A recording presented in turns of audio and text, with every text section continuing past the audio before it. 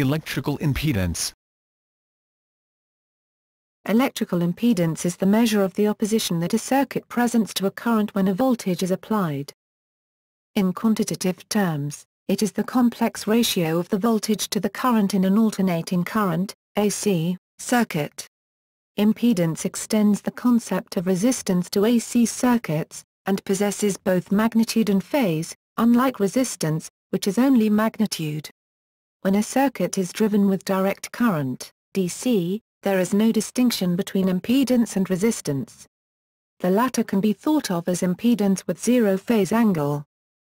It is necessary to introduce the concept of impedance in AC circuits because there are two additional impeding mechanisms to be taken into account besides the normal resistance of DC circuits, the induction of voltages in conductors self-induced by the magnetic fields of currents, inductance, and the electrostatic storage of charge induced by voltages between conductors, capacitance.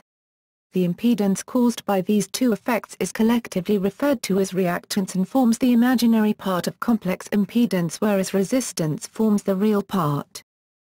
The symbol for impedance is usually Z and it may be represented by writing its magnitude and phase in the form Z. Th. However, complex number representation is often more powerful for circuit analysis purposes. The term impedance was coined by Oliver Heaviside in July 1886. Arthur Kennelly was the first to represent impedance with complex numbers in 1893. Impedance is defined as the frequency domain ratio of the voltage to the current.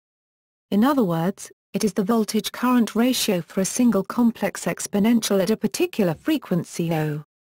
In general, impedance will be a complex number, with the same units as resistance, for which the SI unit is the ohm, O. For a sinusoidal current or voltage input, the polar form of the complex impedance relates the amplitude and phase of the voltage and current.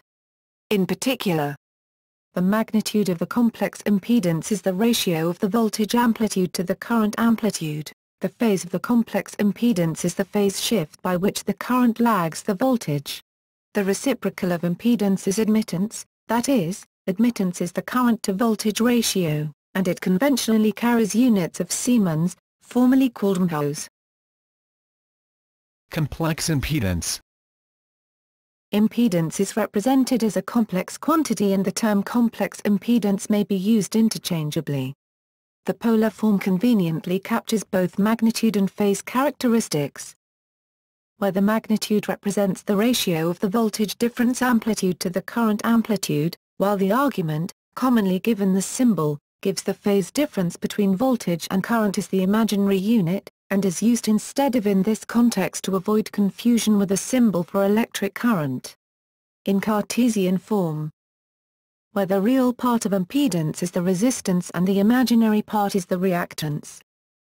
Where it is required to add or subtract impedances the Cartesian form is more convenient, but when quantities are multiplied or divided the calculation becomes simpler if the polar form is used. A circuit calculation, such as finding the total impedance of two impedances in parallel, may require conversion between forms several times during the calculation. Conversion between the forms follows the normal conversion rules of complex numbers. Ohm's law The meaning of electrical impedance can be understood by substituting it into Ohm's law.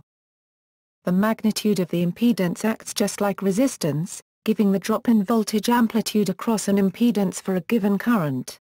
The phase factor tells us that the current lags the voltage by a phase of, that is, in the time domain, the current signal is shifted later with respect to the voltage signal.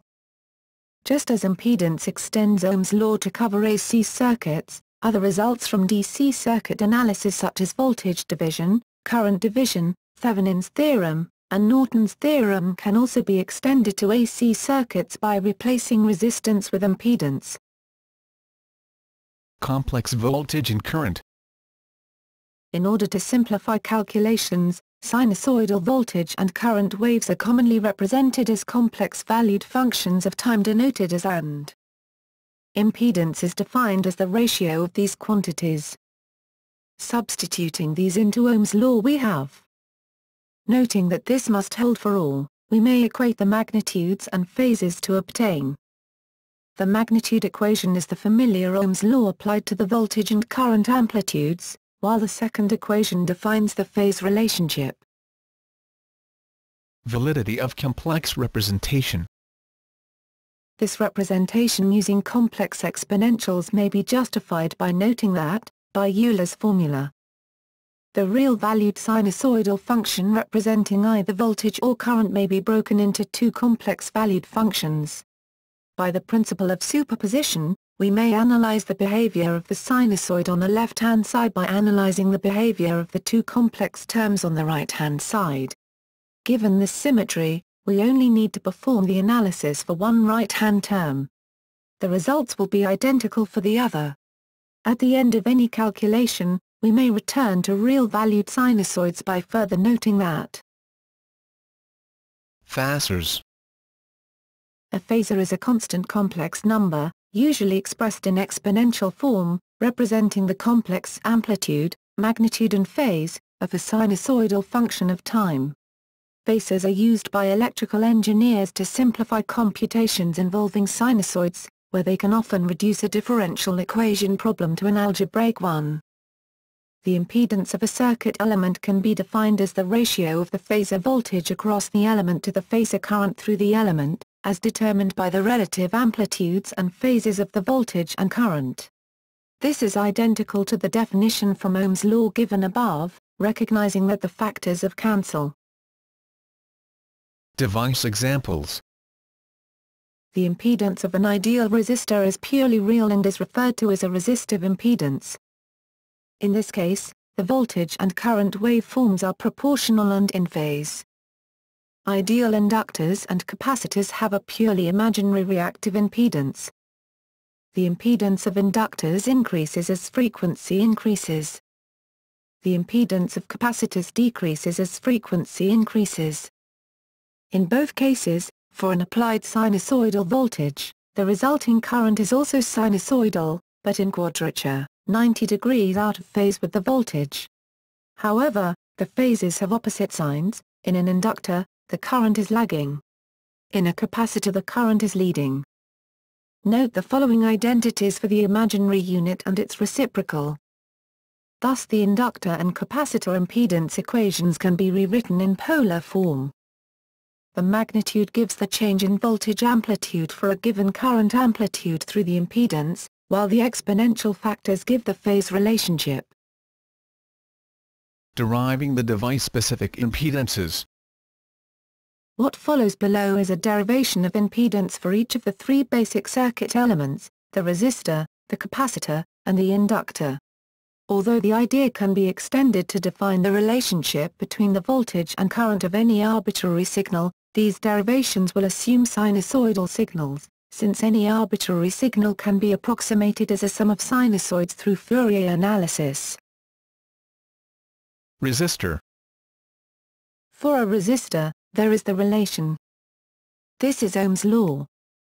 Considering the voltage signal to be, it follows that this says that the ratio of AC voltage amplitude to alternating current, AC, amplitude across a resistor is, and that the AC voltage leads the current across a resistor by 0 degrees. This result is commonly expressed as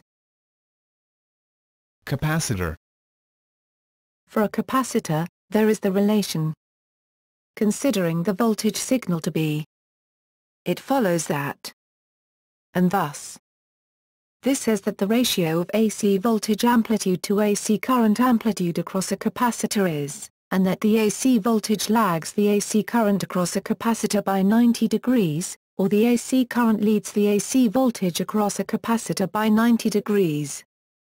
This result is commonly expressed in polar form, as or, by applying Euler's formula, as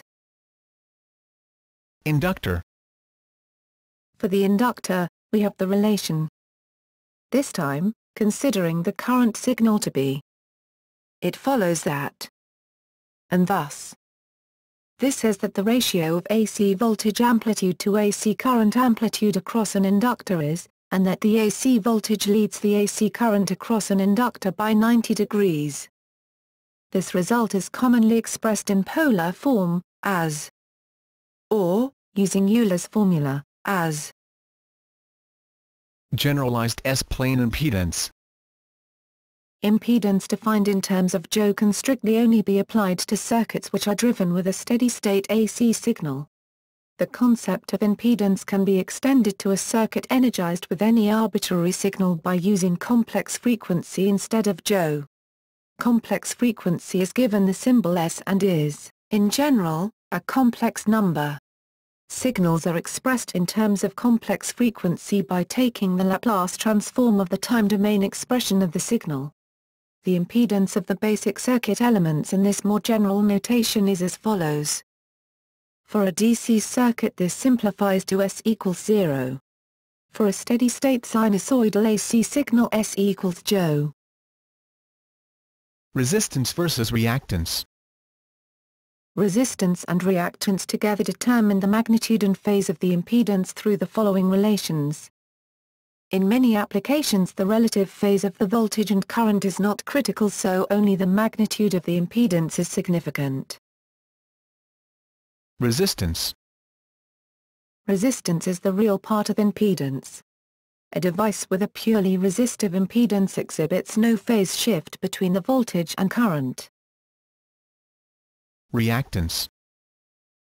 Reactance is the imaginary part of the impedance. A component with a finite reactance induces a phase shift between the voltage across it and the current through it. A purely reactive component is distinguished by the sinusoidal voltage across the component being in quadrature with the sinusoidal current through the component. This implies that the component alternately absorbs energy from the circuit and then returns energy to the circuit. A pure reactance will not dissipate any power. Capacitive reactance. A capacitor has a purely reactive impedance which is inversely proportional to the signal frequency. A capacitor consists of two conductors separated by an insulator, also known as a dielectric. At low frequencies a capacitor is open circuit, as no charge flows in the dielectric. A DC voltage applied across a capacitor causes charge to accumulate on one side. The electric field due to the accumulated charge is the source of the opposition to the current.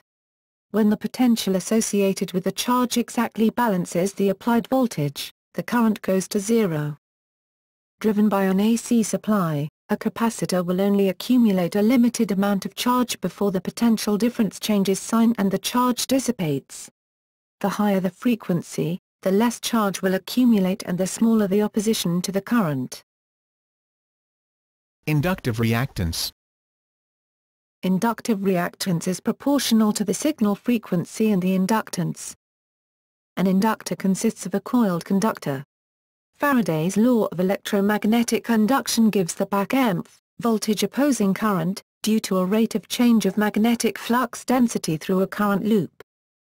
For an inductor consisting of a coil with loop this gives the back EMF is the source of the opposition to current flow.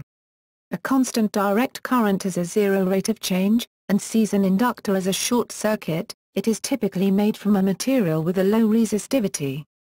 An alternating current has a time-averaged rate of change that is proportional to frequency, this causes the increase in inductive reactance with frequency.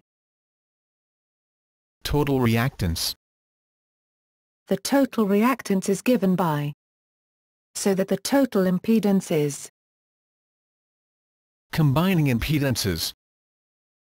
The total impedance of many simple networks of components can be calculated using the rules for combining impedances in series and parallel.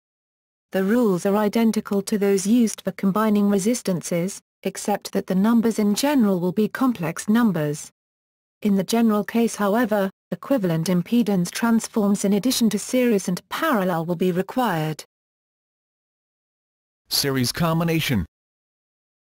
For components connected in series, the current through each circuit element is the same.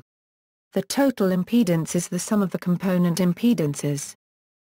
Or explicitly in real and imaginary terms. Parallel combination.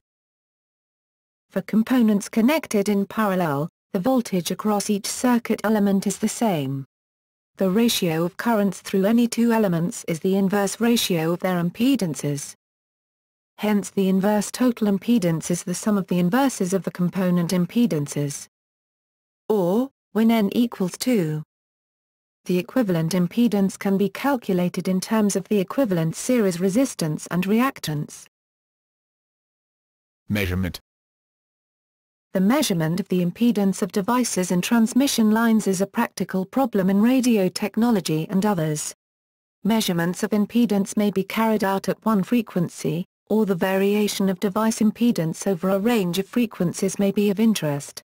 The impedance may be measured or displayed directly in ohms, or other values related to impedance may be displayed. For example in a radio antenna the standing wave ratio or reflection coefficient may be more useful than the impedance alone. Measurement of impedance requires measurement of the magnitude of voltage and current, and the phase difference between them. Impedance is often measured by bridge methods, similar to the direct current Wheatstone bridge. A calibrated reference impedance is adjusted to balance off the effect of the impedance of the device under test. Impedance measurement in power electronic devices may require simultaneous measurement and provision of power to the operating device. The impedance of a device can be calculated by complex division of the voltage and current. The impedance of the device can be calculated by applying a sinusoidal voltage to the device in series with a resistor, and measuring the voltage across the resistor and across the device. Performing this measurement by sweeping the frequencies of the applied signal provides the impedance phase and magnitude. The use of an impulse response may be used in combination with a fast Fourier transform, FFT, to rapidly measure the electrical impedance of various electrical devices. The LCR meter, inductance, L, capacitance, C, and resistance, R is a device commonly used to measure the inductance, resistance and capacitance of a component. From these values the impedance at any frequency can be calculated. Variable impedance. In general, neither impedance nor admittance can be time-varying as they are defined for complex exponentials for less than t less than plus. If the complex exponential voltage-current ratio changes over time or amplitude, the circuit element cannot be described using the frequency domain. However, many systems, for example, varicaps that are used in radio tuners, may exhibit nonlinear or time-varying voltage-current ratios that appear to be linear time invariant, LTI, for small signals over small observation windows. Hence, they can be roughly described as having a time-varying impedance. That is, this description is an approximation. Over large signal swings or observation windows, the voltage-current relationship is non-LTI and cannot be described by impedance.